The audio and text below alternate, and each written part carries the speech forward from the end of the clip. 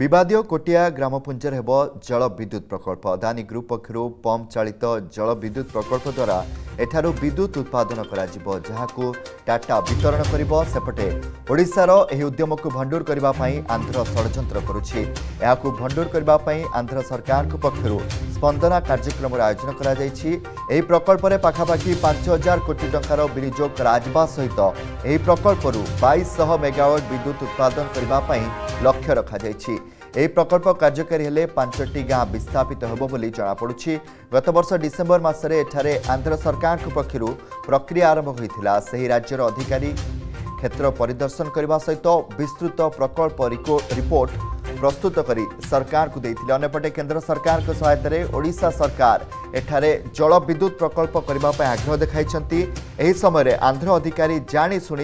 अप्रीतिकर परिस्थिति सृष्टि गरिम् ନାରେଡ଼ି ବାଲ୍ସାରେ ବୁଲିବା ସମୟରେ ଆନ୍ଧ୍ର ପୋଲିସ ସିଆଇ ରୋହିଣୀପତି